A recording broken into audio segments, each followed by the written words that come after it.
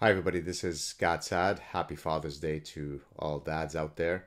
Uh, earlier today, I put out a tweet wherein I said that of all uh, roles that I assume, uh, none is as important as uh, being a good father to my children. Uh, treat your children with dignity, invest in them, pay attention to them, interact with them, nurture them so that they can grow up to be good citizens. Uh, I, I, wanted to just mention a few, you know, evolutionarily relevant points relating to fatherhood. Humans are one of the rare biparental species. Uh, in most cases, uh, when you have a uh, a species uh, that is sexually reproducing, typically the only contribution that the male has to that reality is a copulatory act. in a few cases, certainly, for example, in birds, dads are quite uh, invested. Uh, I actually, in my forthcoming book, I talk about a paper published a few years ago where uh, they looked at uh, fatherhood across different taxa of animals. And when it comes to the human context, human dads are actually quite extraordinary in that we are very, very vested. That's why we are officially uh, classified as a biparental species, whereas the minimal obligatory parental investment of each sex is not the same. Women invest more than men uh, for all sorts of reasons.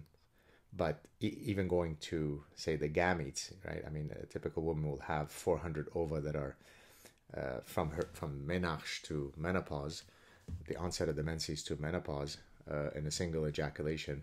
A man can have 250 million spermatozoa. So even at that level, given that ova are much more scarce and rare than uh, spermatozoa, already that creates the tilted reality of minimal parental obligatory investment. But there's a whole bunch of other factors that makes it that while women are much more vested in their children, men are too. That's why we've evolved uh, uh, romantic love, right? The, the the hormonal and physiological and emotional mechanisms that bond a couple together long enough so that they can see their offspring to the reproductive window, right? Humans have a long juvenility period.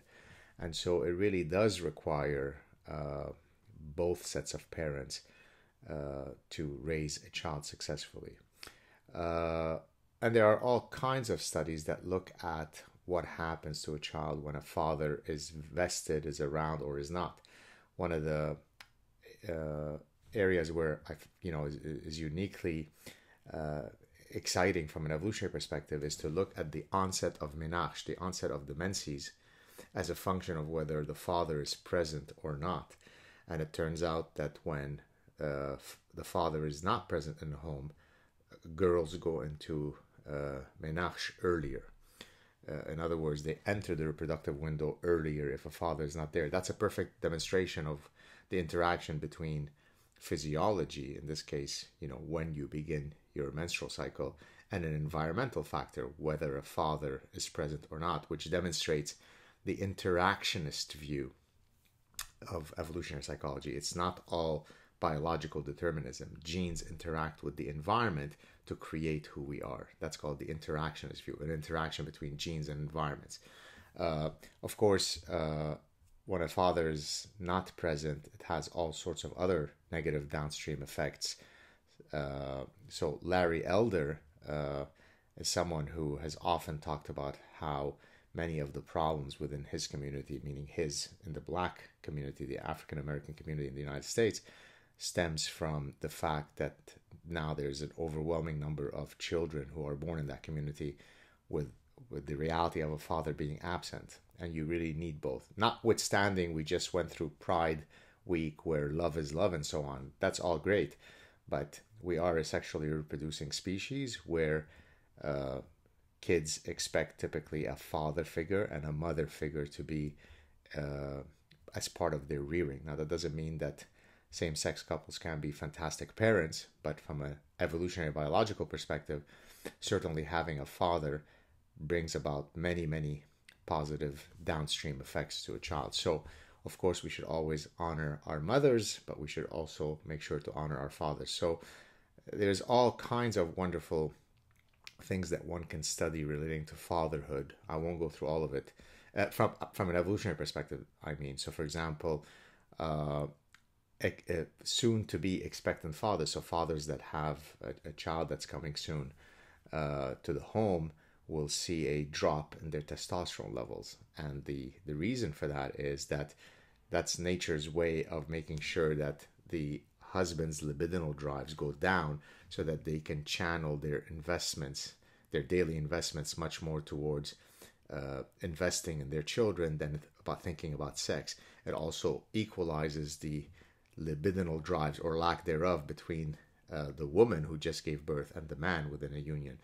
Uh, there's also great studies on paternity uncertainty, and so uh, there's you know one of the fundamental differences in terms of sex differences between men and women originates from the idea that there is no such thing as maternity uncertainty. But of course, there is such a thing as paternity uncertainty. We didn't evolve with DNA paternity tests, and therefore, many of the emotional, cognitive, and behavioral uh, systems that men have developed are precisely to thwart paternity uncertainty. So, again, there's all kinds of really cool things that you could study from an evolutionary perspective as relating to fathers. But moving away from second from you know evolutionary mechanisms, uh, if you have a father with whom uh, you have a great relationship, make sure to remind them that you love them, you appreciate them, and uh, also always remember that while the the Bible, if we're going to get religious, uh, exhorts us to uh, respect our parents, it truly is a two way street. Parents also have to respect their children. It's not one way. It's not I'm older than you, therefore I'm always right. It really is a two way flow. Of course, children by default have to respect their parents, uh, but parents too must invest in their children. So if you're a dad, uh, make sure that you raise your sons and daughters to be great citizens. Have a great happy Father's Day. Earlier today, I went with my family to uh, have brunch at this uh, place that we often go to for such uh, events, and then I walked nearly two hours to try and burn uh, the heavy brunch that I had. Happy Father's Day. Talk to you soon. Cheers.